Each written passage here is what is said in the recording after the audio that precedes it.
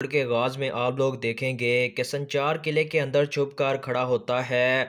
इसी दौरान उस किले का कमानदार बाहर आता है।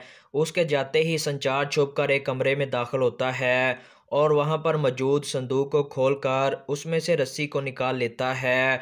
और अपने बाजू पर लिखे हुए अल्फाज को रस्सी के ऊपर लिखे हुए अल्फाज से मिलाता है।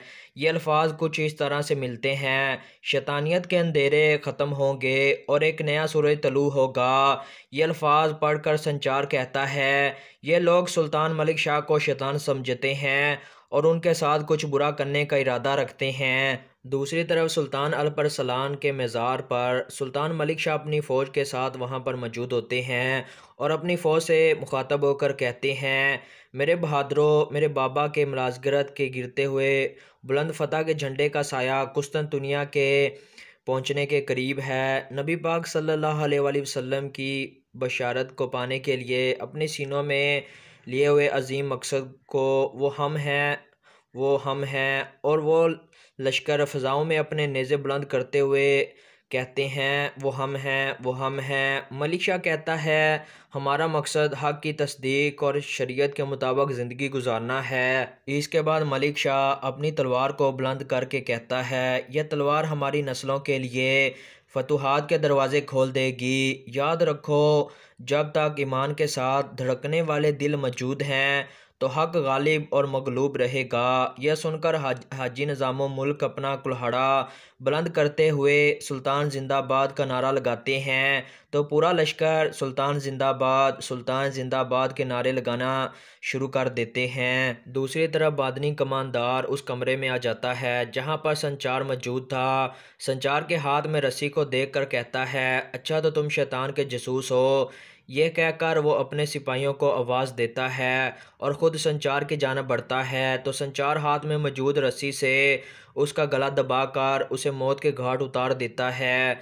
इसी दौरान बाहर से आने वाले सिपाहियों में से एक सिपाही संचार को लात मारता है, जिसकी वजह से संचार के हाथ से रस्सी नीचे गिर जाती है और संचार तलवार उठाकर उस पर हमला कर देता है, जबकि दूसरा सिपाही मौका देकर रस्सी को आग में फेंक देता है। संचार उन दोनों को मौत के घाट उतार कर रस्सी की जाना बढ़ता है, लेकिन इसी दौरान एक और सिपाही संचार को पीछे से मारने की कोशिश करता है, मगर उस सिपाही के पीछे मौजूद दूसरा शख्स उसको मौत के घाट उतार देता है और संचार अपनी तलवार को उसकी गर्दन पर रख देता है और कहता है, दुश्मन ने हमला कर दिया है। और हमें यहाँ से निकलना होगा। हमला हो गया है। संचार उस शख्स के मुँह से अपना नाम सुनकर संचार संचार हैरानो परेशान हो जाता है और पूछता है, तुम्हें मेरा नाम कैसे मालूम हुआ? इस पर वो शख्स कहता है हमारी तरबियत, निज़ाम मुल्क, हाजी निज़ाम मुल्क ने की है। यह सुनकर संचार कहता है, इसके बाद अरसलान ताश पूछता है, क्या तुमने अपनी मतलूबा चीज़ ले ली है? संचार कहता है, जो लेना था वो ले लिया। चलो इसके साथ ही वो कमरे से बाहर निकल आते हैं। कमरे से निकलते ही उनका सामना सिपाहियों से होता है। सिपाही उन पर हमला कर देते हैं। और फिर उनके दरमियान लड़ाई शुरू हो जाती है। लेकिन संचार और अरसलान ताश बड़ी बहादरी से उन सबको मौत के घाट उतार देते हैं। इसके बाद वो बड़ी तेज़ी के साथ किले के शहर में आ जाते हैं। किले के सहन में मौजूद सिपाही संचार और अरसलान ताश पर तीरों की बरसात कर देते हैं, लेकिन संचार और अरसलान अपनी महारत दिखाते हुए उन तीरों से बच जाते हैं। इसके बाद संचार एक नेज़ा उठाता है और बुलंदी पर खड़ा एक सिपाही की जानब फेंकता है, जो तीर चला रहा था। नेज़ा सीधा उसके सीने में जाकर लगता है और आर पार हो जाता है और वह सिपाही समंदर में जा गिरता है। जबकि अरसलान ताश का फेंका हुआ कुल्हाड़ा दूसरे सिपाही को जाकर लगता है और उसका काम तमाम हो जाता है। इतने में वहाँ पर और बेशुमार सिपाही आकर संचार और अरसलान ताश पर हमला कर देते हैं और वहाँ पर एक शदीद लड़ाई शुरू हो जाती है। लेकिन संचार और अरसलान ताश उन सिपाहियों की एक नहीं चलने देते।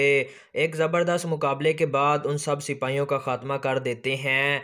इसके बाद संचार और अरसलान किले की दीवार पर चढ़ जाते हैं उनको दीवार पर चढ़ते हुआ देखकर बदनी और सिपाही उनके जाना बढ़ते हैं और संचार और अरसलान ताश उनको भी ख़त्म कर देते हैं।